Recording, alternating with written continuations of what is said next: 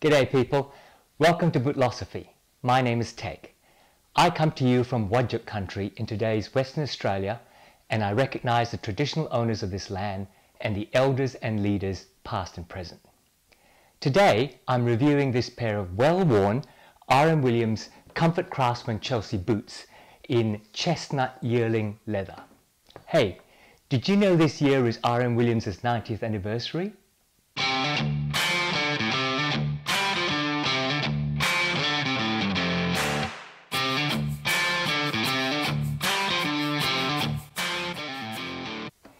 This is R.M. Williams' Comfort Craftsman boot, one of the 11 current styles of Chelsea boots that they make for men. R.M. Williams was founded by Reginald Murray Williams in 1932, so this year is their 90th anniversary year. R.M. was a swagman or itinerant labourer in the outback sheep and cattle stations of the north of South Australia uh, in the Flinders Ranges, and he learned leatherworking skills from a mustering horseman called Dollar Mick. Yep, this is the land of people with names like Dollar Mick and Crocodile Dundee. Hello, my name is Bootlosophy Teg. anyway, RM took to leather work like a duck to water, so he decided to make a living making leather goods. He started with making saddles mainly and made up enough money to start a shop at 5 Percy Street in the suburb of Prospect in Adelaide.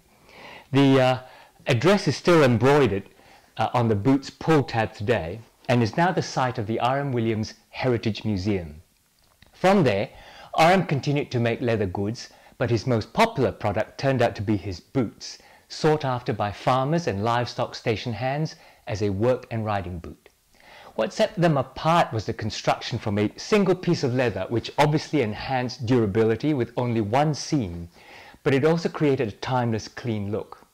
The company grew and prospered over the years, making RM a rich man. His boots started to be worn by gentlemen who had never worked on a farm, and by the 1980s was worn by city bankers and stockbrokers wearing suits and off work in casual gear. In 1989, R.M. Williams opened a London store, and in the 1990s, it took off internationally. RM had sold out by then, and the company changed hands several times across the 2010s, including a stint with LVMH, Louis Vuitton's luxury conglomerate brand. A couple of years ago, it was brought back into private Australian ownership by mining magnate Andrew Forrest. As I said, this is their Comfort Craftsman, one of 11 styles of men's Chelsea boots made by R.M. Williams. I assume you know that the Chelsea boot was a design from the mid 1800s, but what you may not know is that Chelsea boots were apparently made for Queen Victoria by her personal bootmaker as a comfortable walking and riding boot. Considering ladies' boots in those days comprised of hooks and laces and uh, eyelets all the way up the calf, I assume old Vicky loved simply pulling these on and off. While they've been used as riding and work boots from that time, their popularity didn't take off until the 1950s and 60s when they were associated with pop music bands like the Beatles. The swinging 60s were centered on the King's Road in the London suburb of Chelsea, and they became stuck with the name Chelsea Boots. Actually, in those days, they were also known as Beatle boots for a time. Apart from the Craftsman in its different guises, R.M. Williams also make other Chelsea boots called the Macquarie, the Arnhem, the Gammon, the Gardner, the Turnout, the Lachlan, the Sydney, the Santa Fe, and the Tambo, and the Yearling. That's the Yearling style with a high riding heel, not the type of leather. They differ by shaft height shape of the toe, heels, and the shape of the goring, that's the elastic sides. On top of the different designs, of course they make each of those designs with different leathers and use different types of soles. At the time of filming this, they actually show 63 different makeups on their Australian website. This boot though is based on the Craftsman design, a Chelsea boot, 6 inches high from top of the heel to the top of the shaft, a block heel, a rubber sole, a knife-shaped goring, and a slim chisel-shaped toe. I also have a pair of Craftsman with a leather sole, just called the Craftsman, which I've reviewed here. This one is called the Comfort Craftsman because it has a medium thick rubber sole. It also has a comfort lining inside, basically a, a soft foam cavity filled midsole. That's all there is to it. A third version is called the Dynamic Flex Craftsman, which has a leather outsole with padded rubber inserts in the middle of the foot pad and a removable arch support insole. Then there's the fourth, more expensive version called the Signature Craftsman, made of veal calf skin and with a red leather sole, a brass logo on the sole under the arch, and it's signed on the sole by the, by the maker. The Craftsman is a very sleek looking boot. That single piece of leather is formed around a slim last so that it has a clean look without the stitching you otherwise see under the goring or on the vamp, joining different parts of the boot. I understand it's not easy cutting that one piece of flat leather and then lasting it into shape, so it can't be easy to make. Because it's a 270 degree Goodyear welt, more of that later, the line from the ankle down to the heel is very elegant and continuous, no chunky ledge formed by the uh, welt at the back. Much to the disbelief of Americans, you can wear it with a suit. That's done all the time in Australia, and nobody bats an eyelid. That's because of its slim last and it's in a smooth, dressy leather. You'll see people in the financial and legal districts of Australian cities uh, wearing RMs with their suits, with or without ties. This means, of course, you can also wear them in business casual situations with non-matching pants and a blazer, or dress them down a bit with dressy dark jeans and a sports coat. Or the iconic bush look is a pair of light-coloured moleskin jeans and a short sleeve shirt. The slim Chelsea design is very versatile, which means you can also wear them with light wash and faded jeans, along with work shirts or polo shirts and very casual tops. I have worn these in my office in the old days when everyone wore a suit and tie, and I have taken them up to the tropical north, out bush, or uh, you might say into the outback, which we don't.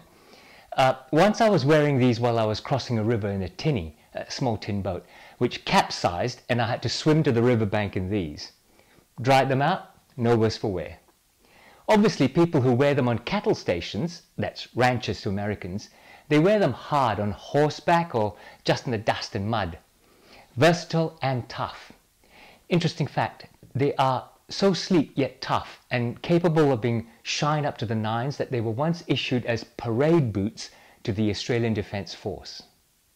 If we uh, dive into how these are constructed, let's start from the bottom and come up. I said before these are 270 degree Goodyear welted. Goodyear welting is one way of connecting the uppers to the sole. It starts with a strip of leather that goes around the edge of the boot, that's sewn to the inside of the boot. Then the sole is attached and sewn to the welt so the sole is never attached directly to the uppers. They're both attached to the welt at different places. In this way, the welt forms a moisture barrier between sole and uppers, so that Goodyear welting is technically more water resistant than some other methods. I say technically because in normal wear, if you don't go for a swim after your boat capsizes, I doubt you see a great difference just walking in the rain. In this case, this is a 270 degree Goodyear welted boot. That means the welt goes three quarters of the way uh, uh, from one side around the arch to the other side. The heel is glued direct to the uppers and the insole construction. This produces that nice line from ankle to heel that I talked about earlier. In any case, the welt is incredibly narrow. You can hardly see the stitching because it seems to be really tucked in right near the uppers. The stitch goes through the outsole in a cut channel which produces, uh, which protects the stitch uh, uh, from uh, wear. The sole here is an oil resistant rubber that's molded with a kind of um, pimply feel to the bottom for grip. It's flat no lugs, no studs, no wavy lines, yet perfectly grippy in any situation I've ever been in, from beer-spilt pub floors to slippery supermarket tiles, to wet grass, to mud and to sand. If there is a leather midsole, I can't see it between the rubber outsole and the welt. Inside is a cork filling, and then in this comfort version, there's a foam insole filler, then a leather insole, and a leather uh, padded heel pad. Inside the cork filling is a fiberglass shank. A shank is a piece of hard material in an ice lolly stick shape that bridges the gap between heel and ball of the foot. It provides arch support and uh, torsional stability when you're on rough ground. The fiberglass shank is airport friendly. It doesn't set off metal detectors, which is a good thing. Uh, the heels and toes are lightly structured to keep your shape, and in the case of the heel, to keep your heels snug in there. The one thing about Chelsea boots is that you have to get the fit right so that they don't keep sliding off your feet every time you take a step, which I'll talk about next. And this heel cup helps you keep it there. The leather is a full grain yearling leather in this case. That means the calf is killed before it reaches one year old. It's very soft and supple yet tough and shows the grain very attractively through this chestnut brown reddish dye. This color is definitely not brown and chestnut describes it well because it has hints of reddishness and even in some light a little browny burgundy. Now these boots are over 10 years old so you can see how it creases or in fact doesn't crease uh, for that amount of time. I have worn this hard.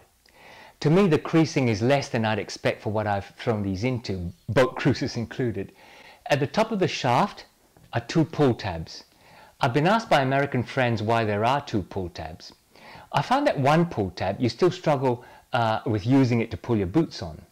With two pull tabs, you can open the neck of the boot to slip your feet in and then pull them up. A much smoother operation in my opinion. Anyway, most Australian Chelseas, these, uh, Blundstones, Redbacks, they all have two pull tabs. The goring is cut in a knife shape, uh, which distinguishes it from some of the other styles, and it's quite firm. It takes a bit to wear the elastic out and get it flabby. That's important because the goring is what will snap back on your ankles to keep them snug inside. Because that's the one thing about Chelsea's that you must get right. The fit around your ankles, heels and instep. Because you can't cinch up any laces to tighten the boot on your foot, your heels need to be held snugly.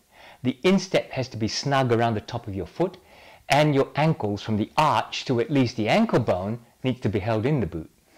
It's okay to have a roomy rounded toe box, but if the fit around your ankles is flabby, you find the boot slipping off every time you take a step. I only have one pair of cowboy boots, and the fit principle is really the same. You want to pull them on with some resistance and then hear that satisfying plop when your foot slips in. In the case of R.M. Williams, somehow they seem to have a last that fits most people's feet around the ankles if you buy the right size. So let's talk about fit and sizing. RM Williams uses UK sizing numbers. Now just for US viewers, UK and therefore RM Williams size numbers are one number down from US. My UK true size is 7.5G which translates to US 8.5D as my true US size. But here I'll stick to the UK numbers. So about 30 years ago when I bought my first pair of RM Williams, I measured 7G on the Brannock. But as I got older and the more I moved into my 50s and now into my 60s, the bones in my feet splayed out, as you do. Today I'm just over 7.5 in RM Williams sizing on the Brannock device.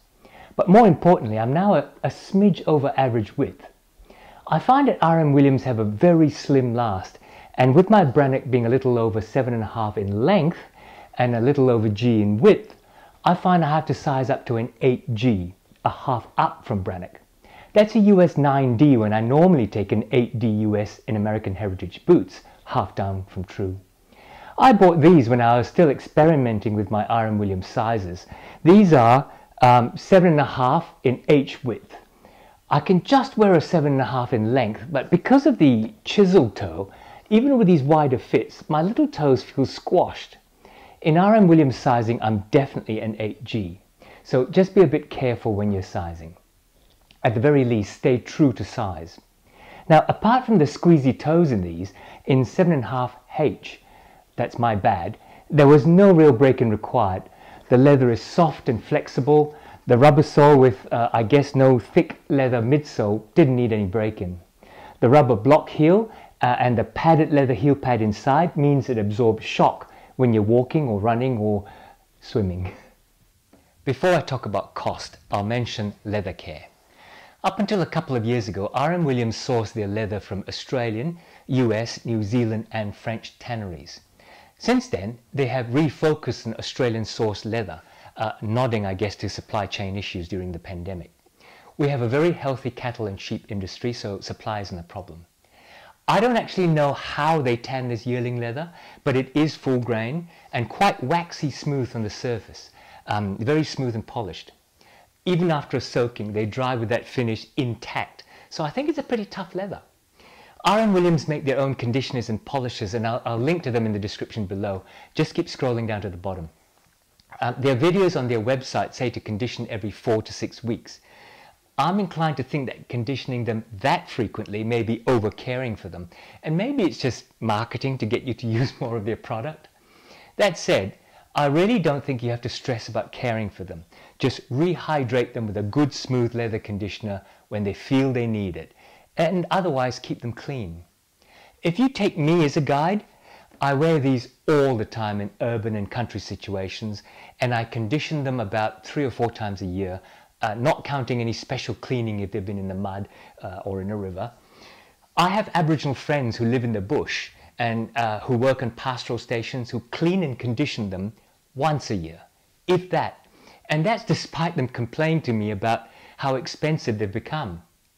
You can polish them if you want.